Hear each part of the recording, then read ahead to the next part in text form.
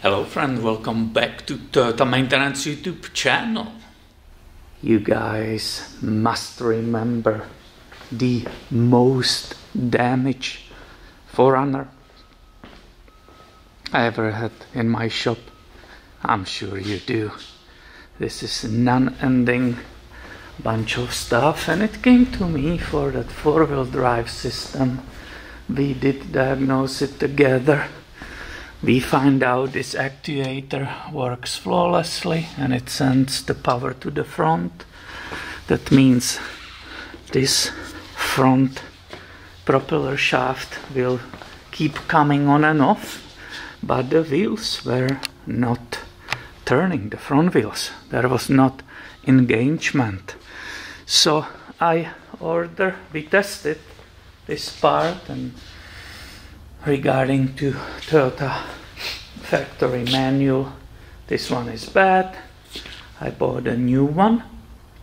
And the replacement started with making sure that filler plug on the top was I was able to open it. Then I drain really contaminated front differential oil from here. And that gives us nice um, access or nice view of this shifting mechanism.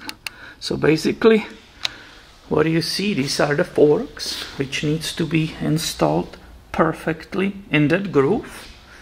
And I will show you that when we will be changing it towards to the driver side when I push that sliding mechanism inside in that direction. Let me grab it already so you can see it. This is one of the first check you do. You must realize that this movement is absolutely easy and that electric motor which is here which is nothing huge correct will have not a hard time to engaging and disengaging this. So let's go and see if I move it. I will put the camcorder on the tripod how it will change the movement of the front wheels.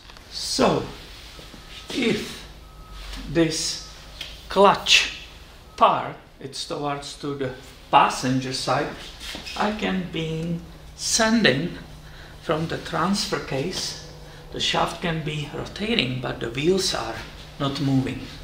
Now let's pretend my finger is that fork. I will keep turning this and carefully go towards to the driver. So now I have a hard time to turn this propeller shaft because I'm already moving this one. Also you don't see it's moving and this one is moving. If I want to disengage the front I'm slowly moving it towards to the passenger.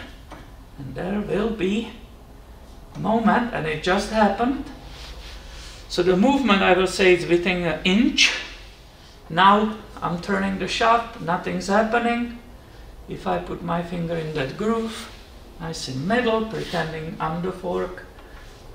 Look at that, you heard a click, and it nicely moves both front wheels. I will disengage it one more time towards to the passenger, and that's it. It wasn't much pressure as you can imagine, otherwise that motor, electric motor, will be not able to push it there and back. So everything is lubricated. It's very smooth very smooth.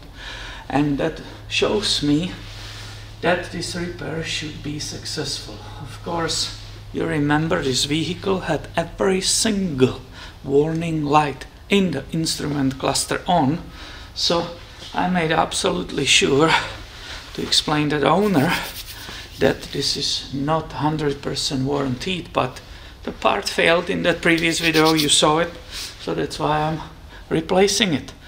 Now I have to completely dry it, apply my gasket maker. There's not cork or paper, you just apply your own. I have to carefully put the fork right between these two, right? Install it correctly, otherwise it cannot work. it was held by four 12 millimeters bolts. Here you will be able to see the new unit installed. For the gasket I used FIPG, Toyota FIPG, because in my opinion it has the highest resistance to the oil from all the stuff I know or I have here available. Here's the old unit. Now I will wait, you can see that oil how contaminated it was. I have both plugs. Now I will wait at least 30 minutes, let it dry. I don't want to expose that FIPG immediately to that gear oil. And you were with me and you brought me luck again. It's obvious. Look at it. I have it slightly off the ground. So I put it in the lowest gear I could. And before there was no way to engage that front. It will just not go on. I did it last time we did it in the video. I believe not sure if I showed it but that was the situation. That ADD actuator is here will not engage the front wheels. It was only the rear. To show you in how bad shape this vehicle is and this is basically a little miracle because of you. Look at this rear wheel. Is it the tire bed or is it the whole rim? Look at that this poor thing is in such a bad shape. It's really, really sad. But what can we do? Maybe it's better if it's still being used by someone than if it was crashed in the junkyard. I don't know, honestly. So, the lights keep flashing. The Christmas tree keeps happening. But you can see I'm in that high four and fortunately those fortunately those front wheels are engaging and disengaging. So I'm switching the two-wheel drive switch back into two-wheel drive nicely disconnected both front wheels. So yeah I'm happy obviously. I'm not happy in which shape this vehicle is.